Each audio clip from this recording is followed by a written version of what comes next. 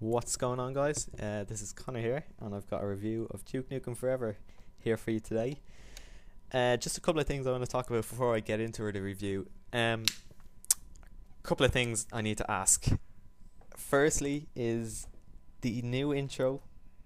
I just I, I just need some opinions on it. Is it too long? Because I kind of think it might be too long. You know.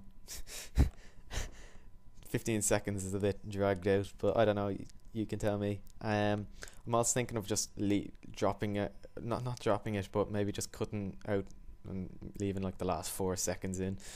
But anyway, you can tell me about that in the comments. Another thing is Minecraft. Um, I was thinking of doing a Minecraft series. I don't know, maybe like one or two episodes a week. Nothing too intense because I know everyone's sub boxes always gets flooded with Minecraft, and I was thinking of that when when when uh, considering making it. But let me know if you want to see Minecraft for me because it's something I'd be interested in. But I'm not too sure that you'd be interested in it because literally everyone does Minecraft, and I understand that. Let me know in the comments, guys. So, um, yeah, I'll get stuck into this review. Now, presentation. So, after being in development for 12 years, you think a video game would have a fairly polished look Duke Nukem lacked this polish. A game that's mainly focused on the single player aspect needs to be immersive from the very start. However, when a player starts a new campaign, they are greeted by a loading screen and a very brief opening theme and a Duke Nukem Forever logo. It made me feel like the game was just thrown together to get it onto shelves and wasn't given the care it deserved during development. It certainly makes you wonder what has been going on for the last 12 years in this project. The whole game feels kinda empty, from a quick glance through all the menus and options available to you, you'd feel slightly let down that there isn't more packed into this title.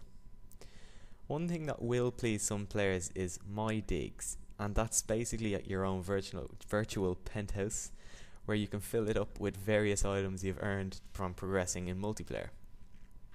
Also, after beating the game once, some new extras will unlock in the main menu. These include concept art, photos from the development, and a Duke soundboard. These are pretty cool, but will only keep you occupied for 10 to 15 minutes. Gameplay.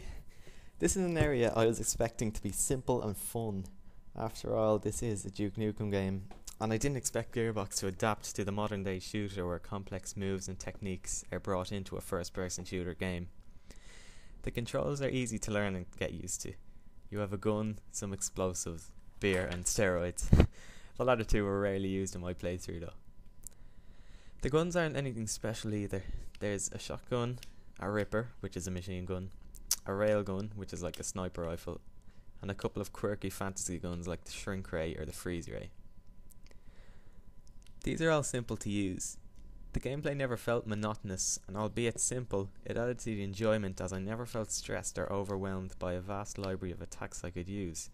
The enemies themselves were tough, and that's only on regular difficulty, if they were any easier, though, it could have been a huge downfall for this game, as I got a minor fe feeling of accomplishment when I passed the difficult section of killing enemies. Graphics and audio. Before I say anything about the game's graphics, let's just be clear that this game has been through several engines and developers, so I think everyone should cut some slack for Gearbox and not criticise the graphics of this game too much.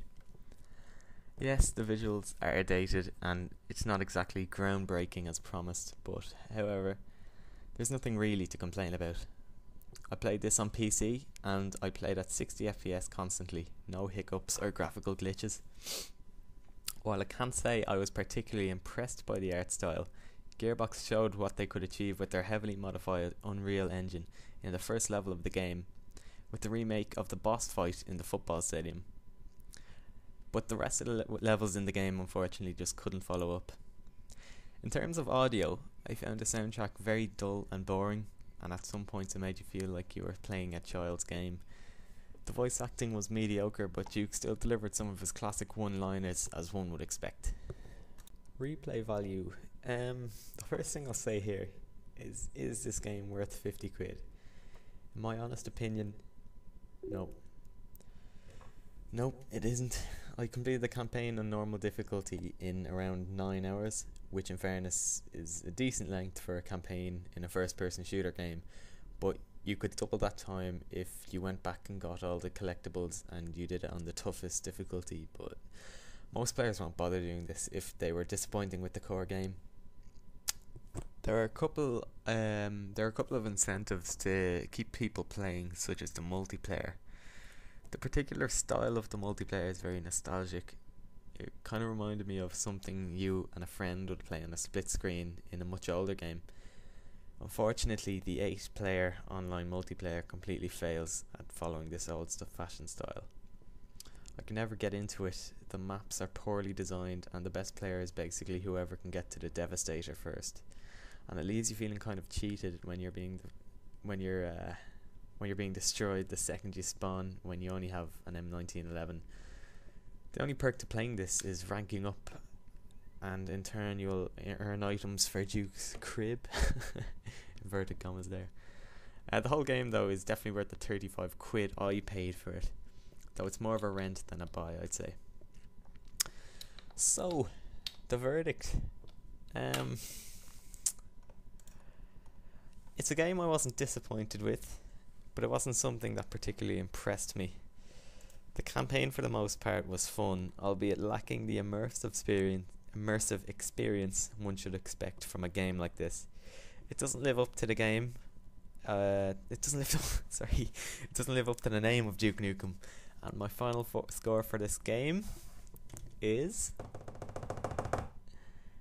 sixty-eight out of hundred. Very precise score there, but yeah, that's my score for Duke Nukem Forever. Um, just before I wrap it up, I just want to remind you please comment on this and tell me about what you think of my intro. And also, please tell me what you think of the Minecraft idea. Thanks very much for watching, guys, and I'll see you later.